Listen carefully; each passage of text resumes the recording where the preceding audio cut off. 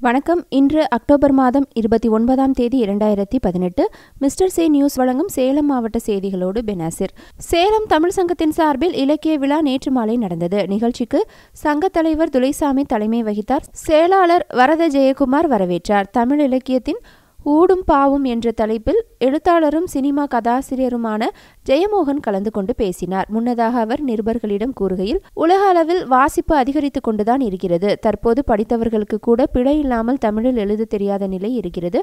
தாய்மொழியை பிழையின்றி பேச எழுத குழந்தைகளுக்கு பெற்றோர் கற்றுத்தர வேண்டும். இந்தியாவில்தான் குறைந்த செலவில் உயர்கல்வி கிடைக்கிறது. வேறு நாடுகளில் இல்லாத கருத்து சுதந்திரம் இந்தியாவில் இருக்கிறது. அதற்கு ஒரு எல்லை வேண்டும் என்றார். இயற்கையோடு இணைவோம் என்ற விழாவில் திருச்சி சரக டிஐஜி லலிதா லட்சுமி அவர்கள் கரங்களால் சேலம் இளைஞர் குழுவிற்கு சிறந்த சுற்றுச்சூழல் விருது வழங்கப்பட்டது. தகாத உறவு மனரீதியாக துன்புறுத்திய குற்றமாக கருத முடியாது என சென்னை உயர்நீதிமன்றம் தெரிவித்துள்ளது. மேலும் தகாத உறவு காரணமாக மனைவியை தற்கொலைக்கு தூண்டியதாக சேலத்தை சேர்ந்தவருக்கு விதிக்கப்பட்ட பத்து ஆண்டு சிறை தண்டனையை ரத்து செய்து தீர்ப்பளித்துள்ளது. சேலம் மாவட்டம் ஆத்தூரை சேர்ந்த மாணிக்கம் என்பவருக்கும் சங்கீதா என்பவருக்கும் இரண்டாயிரமாம் ஆண்டு திருமணம் நடந்தது. இவர்களுக்கு ரோஷினி என்ற பெண் குழந்தை உள்ளது. இந்த நிலையில் மாணிக்கத்திற்கு சரசு என்ற பெண்ணுடன் தொடர்பு ஏற்பட்டதாக கூறப்படுகிறது. இதை பலமுறை கண்டித்தும் மாணிக்கம் கேட்டு கேட்காததால் தனது ஒன்றரை வயது மகளுடன் கிணற்றில் குதித்து சங்கீதா தற்கொலை செய்து கொண்டார். கடந்த இரண்டாயிரத்தி மூன்றாம் ஆண்டு நடந்த இந்த சம்பவம் தொடர்பாக வரதட்சணை கொடுமை தற்கொலைக்கு தூண்டியது ஆகிய குற்றச்சாட்டில் மாணிக்கம் கைது செய்யப்பட்டார். இந்த வழக்கை விசாரித்த சேலம் மகளிர் சிறப்பு நீதிமன்றம் மாணிக்கத்திற்கு பத்து ஆண்டு சிறை தண்டனை விதித்து இரண்டாயிரத்தி ஏழாம் ஆண்டு தீர்ப்பளித்தது. இந்த தீர்ப்பை ரத்து செய்ய கோரி மாணிக்கம் சென்னை உயர்நீதிமன்றத்தில் மேல்முறையீடு செய்தார். இந்த மனுவை விசாரித்த நீதிபதி வைத்தியநாதன் தகாத உறவு மனரீதியாக துன்புறுத்திய குற்றமாக கருத முடியாது. தற்கொலைக்கு தூண்டிய குற்றச்சாட்டுகளை காவல்துறை நிரூபிக்க தவறிவிட்டது. எனவே மாணிக்கத்திற்கு விதிக்கப்பட்ட தண்டனையை ரத்து செய்து அவரை விடுதலை செய்கிறேன் என்று தீர்ப்பளித்தார். சேலம் இளைஞர் குழு சார்பில் போதிமரம் முதியோர் இல்லத்தில் சர்வதேச முதியோர் தினத்தை முன்னிட்டு அனைத்து முதியோர்களுக்கும் போர்வைகள் வழங்கப்பட்டது. தாழ்த்தப்பட்டவர்களை பணி செய்ய விடாமல் ஒதுக்கக்கூடாது என்றும் பள்ளி கல்வித்துறையில் நல்லிணக்கத்தை அனைவரும் கடைபிடிக்க வேண்டும் என்றும் கலெக்டர் ரோஹிணி வேண்டுகோள் விடுத்துள்ளார். இது தொடர்பாக அவர் வெளியிட்டுள்ள செய்திக்குறிப்பில் கூறப்பட்டுள்ளதாவது சாதி மத பேதமற்று மத நல்லிணக்கத்தையும் சாதி ஒற்றுமையையும் எப்போதும் பேணி வரும் மாவட்டம் என்பதிலே நாம் அனைவரும் பெருமிதம் கொள்ள முடியும்.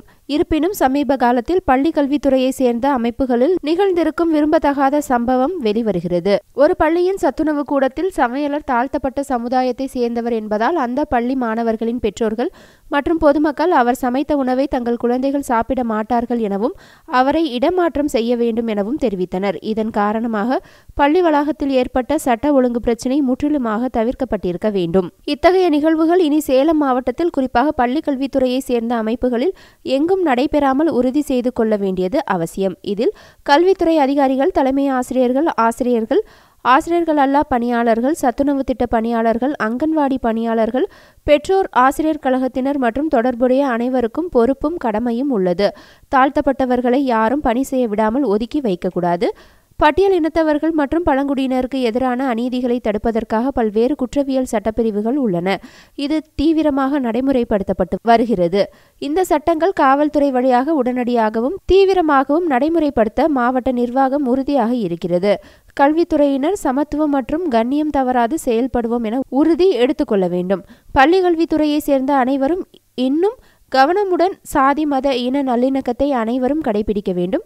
நல்லிணக்கத்தை மாணவர் பொதுமக்கள் என அனைவரும் இன்னும் செழுமையாக இயன்ற அனைத்து பணிகளையும் ஆற்றும்படி கேட்டுக்கொள்கிறேன் என்று அதில் கூறப்பட்டுள்ளது.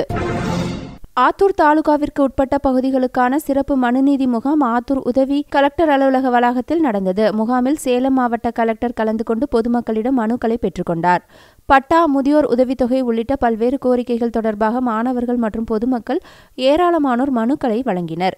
முகாமில் முன்னூற்றி எண்பத்தி எட்டு பயனாளிகளுக்கு மொத்தம் ரூபாய் ஒரு கோடியே ஒன்பது லட்சம் மதிப்பிலான நலத்திட்ட உதவிகளை கலெக்டர் வழங்கினார். முகாமில் அனைத்து துறை அலுவலர்கள் உட்பட ஏராளமானோர் கலந்து கொண்டனர். தொடர்ந்து கலெக்டர் ஆத்தூர் விநாயகபுரத்தில் உள்ள அம்மா உணவகத்தில் திடீர் ஆய்வு மேற்கொண்டார். அப்போது அவர் உணவுகளின் தரம் மற்றும் சுகாதார முறையில் செயல்படுகிறதா என ஆய்வு செய்தார்.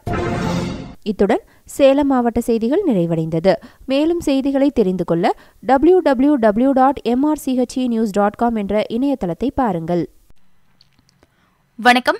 இன்று அக்டோபர் இருபத்தி ஒன்பது இரண்டாயிரத்தி பதினெட்டு மிஸ்டர் சி நியூஸ் வழங்கும் செய்திகளோடு நந்தினி. சென்னை மீனம்பாக்கம் விமான நிலைய ஆணைய குடியிருப்பில் உள்ள தோட்டத்தில் மூலிகை செடிகளை இந்திய விமான நிலையங்களின் ஆணையக தலைவர் குரு பிரசாத் நட்டு வைத்தார். தீபாவளி பண்டிகையை முன்னிட்டு சென்னை தீவுத்திடலில் பட்டாசு விற்பனை இன்று தொடங்குகிறது. இதற்காக எழுபது பட்டாசு கடைகள் அமைக்கப்பட்டுள்ளது. புதுச்சேரி சாலை போக்குவரத்து கழக ஊழியர்களின் வேலைநிறுத்த போராட்டம் ஐந்தாவது நாளாக நீடிக்கிறது. கடந்த மூன்று மாதங்களாக சம்பளம் வழங்காத மாநில அரசை கண்டித்து போக்குவரத்து ஊழியர்கள் போராட்டம் நடத்தி வருவது குறிப்பிடத்தக்கது. தமிழக சட்டசபையில் ராமசாமி படையாட்சியர் உருவப்படம் திறக்கப்படும் என்று பாராட்டு விழாவில் முதலமைச்சர் எடப்பாடி பழனிசாமி அறிவித்தார். வெளிநாட்டில் இருந்து சென்னைக்கு கடத்தி வரப்பட்ட இரண்டு கோடியே இருபத்தி எட்டு லட்சம் மதிப்புள்ள தங்கத்தை மத்திய வருவாய் புலனாய்வு பிரிவு அதிகாரிகள் பறிமுதல் செய்தனர். இது தொடர்பாக இரண்டு பேரை கைது செய்தனர்.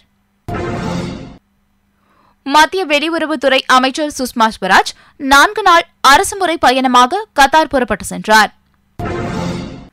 எஃப் பதினாறு போர் விமானங்களை வாங்குமாறு இந்தியாவை நாங்கள் வற்புறுத்தவில்லை என்று அமெரிக்க தூதர் விளக்கமளித்துள்ளார்.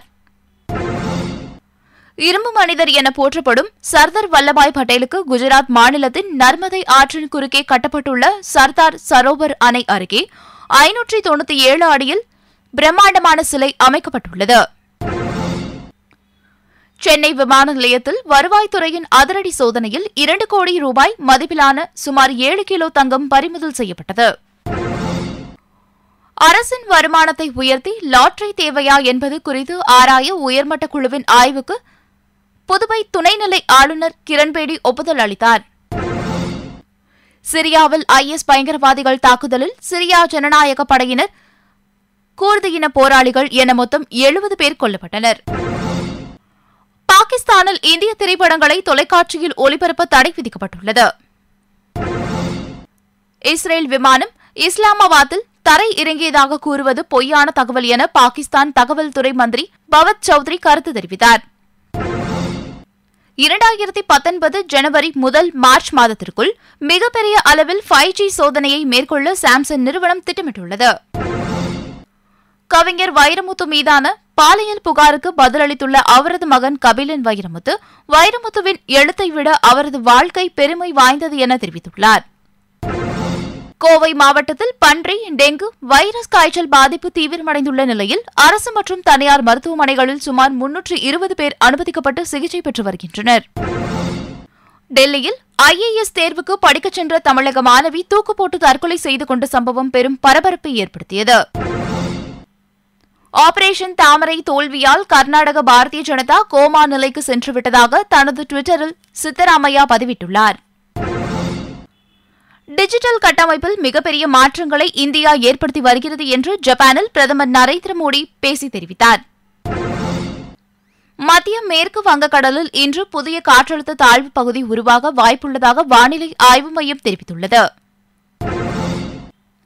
இலங்கை பிரதமராக ராஜபக்சேவை நியமித்தது ஏன் என்பது குறித்து இலங்கை அதிபர் மைத்ரிபால சிறிசேனா விளக்கம் அளித்துள்ளார். தன்னை கொல்ல நடந்த சதியில் மூத்த அமைச்சர்களில் ஒருவருக்கு தொடர்பிருந்ததாகவும் அவர் குற்றம் சாட்டியுள்ளார். மதுரையில் எய்ம்ஸ் மருத்துவமனை அமைப்பதற்காக விரைவில் அடிக்கல் நாட்டப்படும் என சுகாதார அமைச்சர் விஜயபாஸ்கர் தெரிவித்தார். சத்துணவு ஊழியர்கள் வரையறுக்கப்பட்ட குறைந்தபட்ச ஊதியம் குடும்ப பாதுகாப்புடன் கூடிய ஓய்வூதியம் பணிக்கொடை உணவு தயாரிப்பு செலவை உயர்த்துதல் உட்பட ஏழு அம்ச கோரிக்கைகளை வலியுறுத்தி இன்று முதல் காலவரையற்ற வேலைநிறுத்தத்தில் ஈடுபட உள்ளனர். நடப்பு நிதியாண்டிற்கான முழுமையான பட்ஜெட் தயாரிக்கும் பணியில் மத்திய நிதி அமைச்சகம் தீவிரமாக ஈடுபட்டுள்ளது.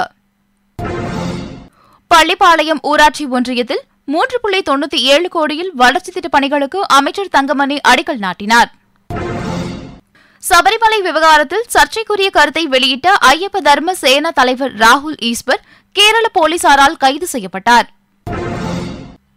வாடிக்கையாளர்களின் எண்பத்தி ஐந்து லட்சம் நகை பணத்துடன் தலைமறைவான நகை கடைக்காரரை போலீசார் வலைவீசி தேடி வருகின்றனர். மேட்டூர் அணைக்கு வரும் நீரின் அளவு மூவாயிரத்தி பன்னெண்டு கன அடியில் இருந்து இரண்டாயிரத்தி தொள்ளாயிரத்தி எண்பத்தி ஒன்பது கன அடியாக குறைந்தது.